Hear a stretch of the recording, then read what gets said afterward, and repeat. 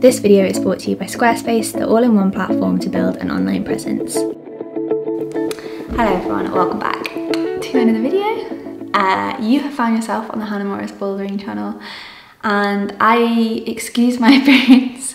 I'm fresh out of the shower but I just wanted to give this video a little uh, a little context, a little introduction if you will because I figured it needed it. Um, the footage that you are about to watch is was filmed with my good friend Be, who is a climbing coach. She just knows climbing movement inside out and is very good at describing how to climb well. When I filmed with Be, we filmed um, like tips and techniques video. We filmed a few, but the most recent one, there was some footage that didn't quite make the cut, but when I was looking back over it recently, I figured that it is still really valuable and I didn't want Be's knowledge to be lost. So without further ado, I hope that you enjoy watching Be climb some more climbs that didn't make the original cut and I'll see you in my next video. I have lots of exciting videos planned.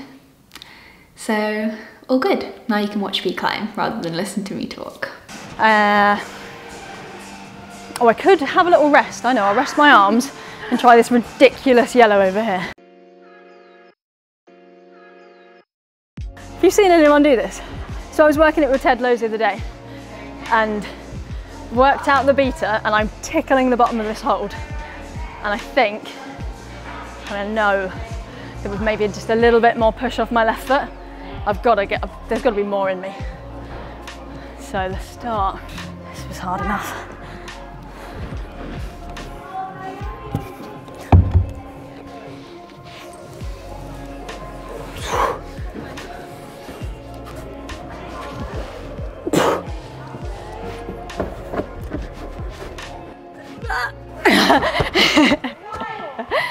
It's uh,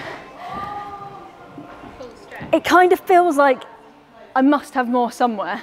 And I know my foot could be placed better but I'm so stuck in that position that it feels like the more I move the more I'm likely to fall off. So I'm not quite getting the optimum position but it's so much fun.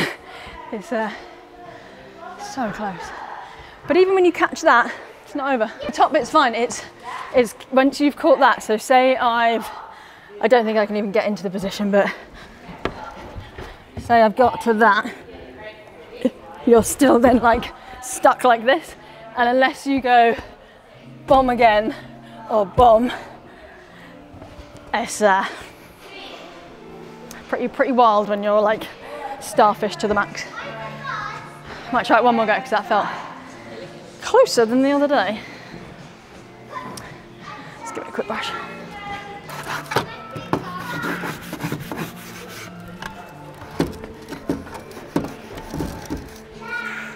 So the thing that felt really interesting about this one was the hip positioning around this hold. I realised if I tried to go over it, it didn't work, so I had to stay really low, shift my hips underneath it to then keep the balance to then go up. So it was quite an interesting hip movement as well.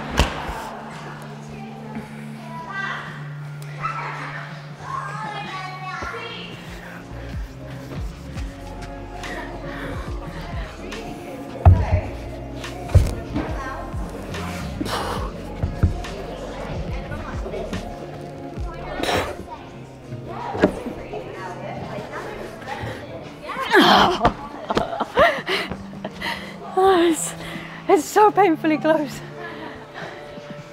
But also really quite far. Right, I'm happy, I've rested. Basically a rest. I know. We could do something just a little bit more gentle. There's a lovely climb around the back that I was um, doing some techniques with a client on with the other day. That was pretty cool.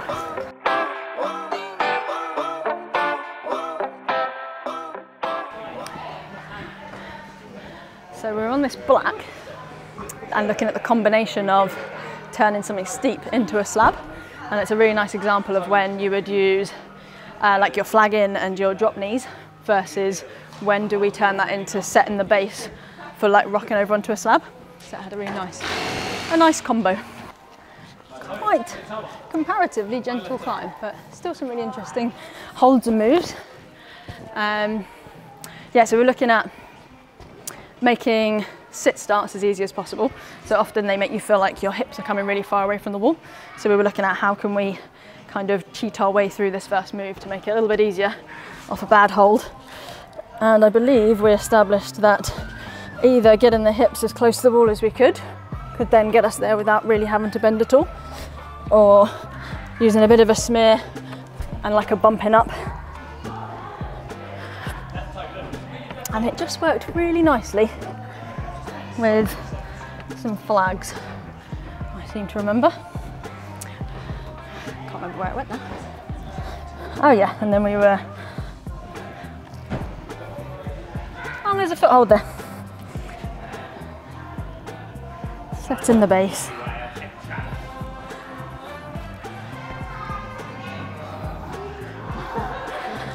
Yeah, it's a really nice combo of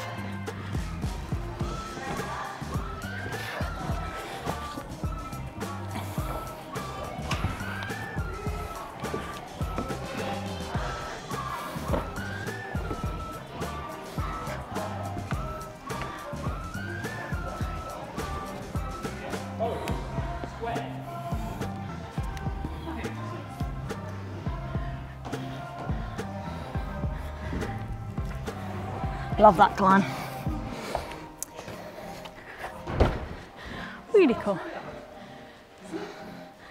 Um, So between climbs, I wanted to have a quick word from the sponsor of this video, which is once again Squarespace. I have loved working with Squarespace, not only to maintain my online presence in the form of my blog, but also to build an online shop. Something that I really love about Squarespace is they make it really easy to integrate all of the different elements of your brand or business or content together all in one. So for example, in my blog posts, I can have links out to my YouTube channel, I can have links through to my storefront, I can add pictures, I can add audio, I can add my social links. It just really feels like a kind of central hub to keep your content and your creations together. So if you are in the market for a website or an online store, if you head to www.squarespace.com and then when you are ready to launch, use the unique code Hannah Morris for 10% off your purchase of a website or domain. ready for some campusing? In stark contrast. so to reinforce the theory of as much as I'm constantly teaching that it's all about the base, that it's all about efficiency, I love campusing. It's super fun. It's what we all enjoy doing. Well, some of us enjoy doing. But because I love doing that, I want to be able to save as much energy as possible wherever I can, so that when that either that move comes up or where that is the only option, I've got the power and I've got the energy to be able to do that. So this red is a nice example of where I do have to do a little bit of campusing on some poor pinches, but then when I'm really tired near the top, I have to try and use the volumes as well as I can by getting my centre of gravity over my feet, because uh, it's another really scary last move.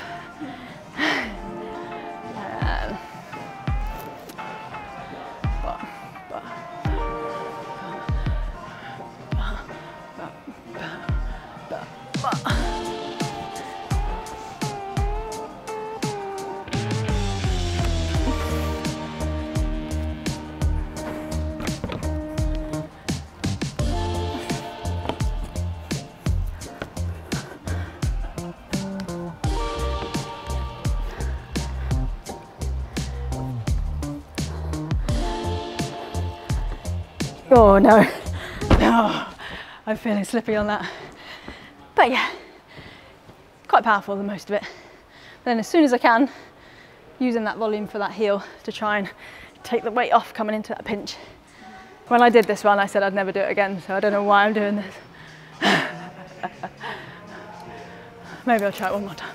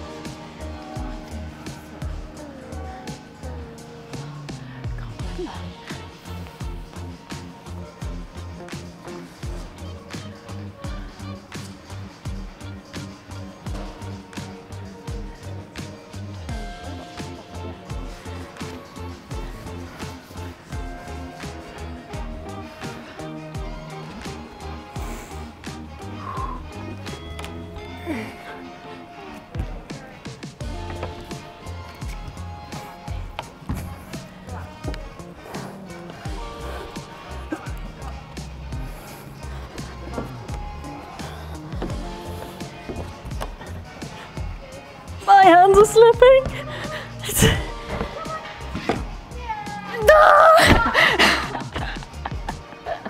oh, my hand was peeling off that hold. We'll give you that. That was fun. Take that take that as a hot day repeat. Yeah. Ah, good times. Always good to have some massive swinging from the top fails. Amazing. Okay, happy with that.